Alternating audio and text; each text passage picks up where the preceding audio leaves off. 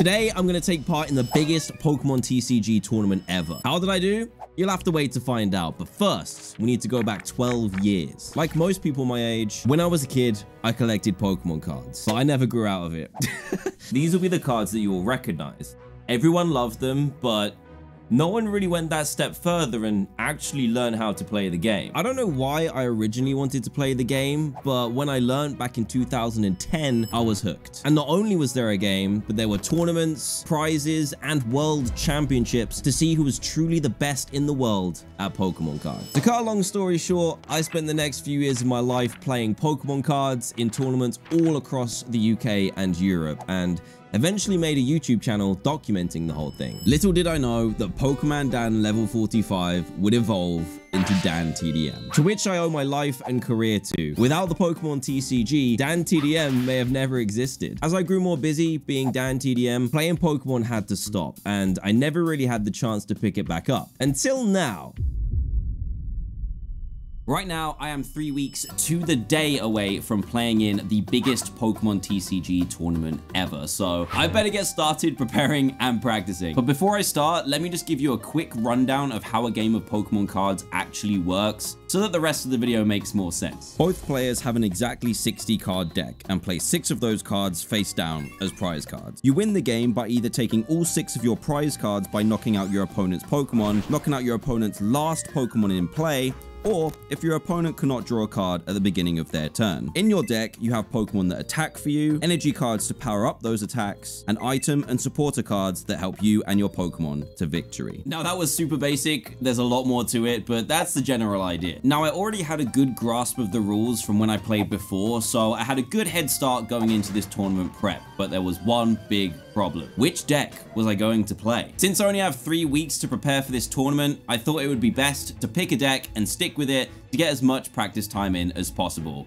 And this is what I've chosen. Lost Zone Giratina. The way this deck works is Comfey is the main engine where you can use its ability to look at the top two cards of your deck choose one and put the other in the Lost Zone. There's also Colress's Experiment, which is a supporter card that allows you to look at the top five cards of the deck choose three and lost zone the other two. Now the lost zone is where cards can go and never be recovered. This sounds bad, but with other cards in the deck such as Cramorant, which can attack for free if there are four or more cards in the lost zone, Mirage Gate, which can attach energy from your deck to your Pokemon if there's seven or more in the lost zone, and finally Giratina V-Star, which can automatically knock out any active Pokemon if there are 10 or more in the lost zone. Hopefully you can see where the synergy of all these cards works out. There's also other cards such as Snorlax, Hawlucha, and Radiant Greninja to help you attack and draw more cards, but I'm trying to keep this overview as simple as possible. But now that we've chosen a deck, it's time to play.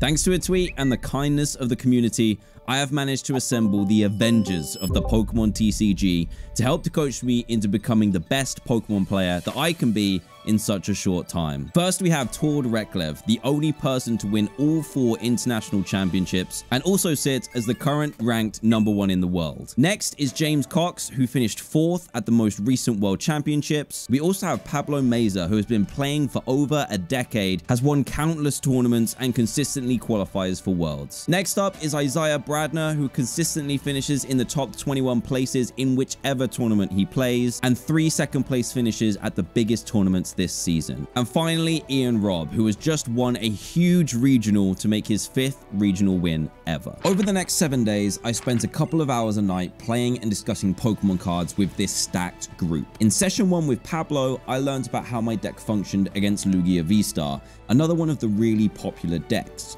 The matchup was tricky, but definitely winnable. The next night, me and Tord talked for about two hours about how my Giratina V-Star deck can approach the other decks that I'll probably play against. He did like my deck choice too. I hung out with James the night after and we played two hours of the mirror match, which means the same decks playing against each other. I've done three sessions now, um, playing, testing, and talking with some of the best players in the world, and I'm actually feeling pretty confident.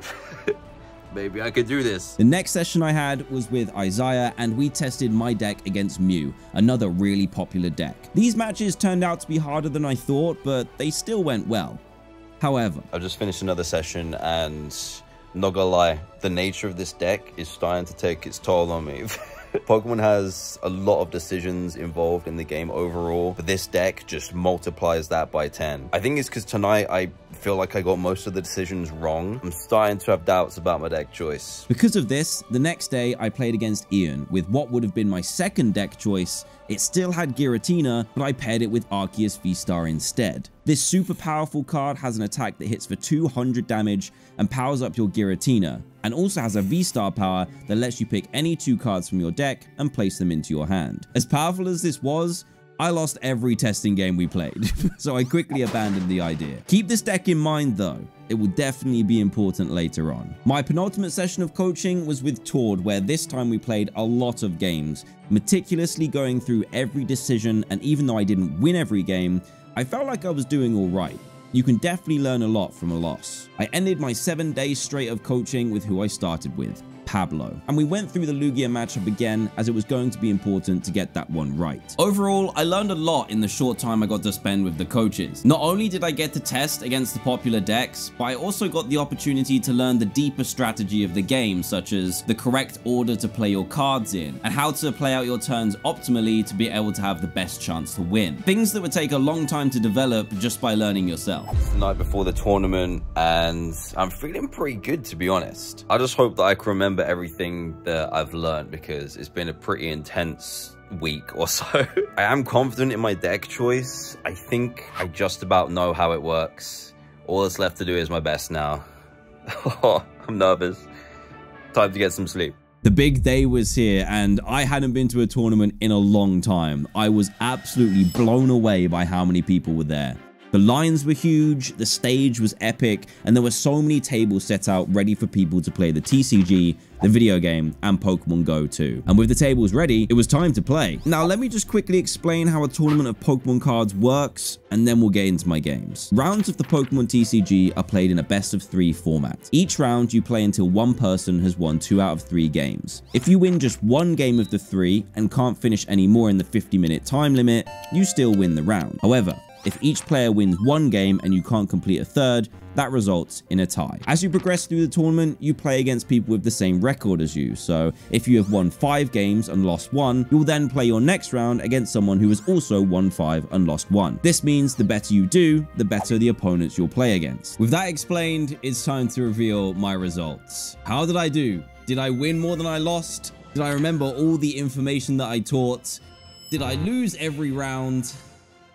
Well, let's just say that I have a lot more learning to do. My record for EUIC, the largest Pokemon TCG tournament of all time, was zero wins, four losses, and two ties. But don't go away thinking that I'm a failure just yet. For players who didn't make day two of the main tournament, there was one the next day called the London Cup, which I decided to play in too. But first, what went wrong? Basically, my thoughts halfway through my coaching sessions turned out to be correct. The deck had really high power and versatility, but it was just too complex for me. I made some silly mistakes that had some massive consequences and cost me games that I definitely could have won. Now, remember when I mentioned to keep that Arceus Giratina deck in mind from earlier? Well, that's why I decided to sleeve up for the London Cup, and that one happened to go a little bit better. The secret sauce that I was missing when I tested this deck originally with Ian was this guy, Skwovet. It allows you to dump your hand to the bottom of the deck and draw one but then you can fill that straight back up with Bibarel's ability that the deck already runs. I played exactly zero games to test with this list, but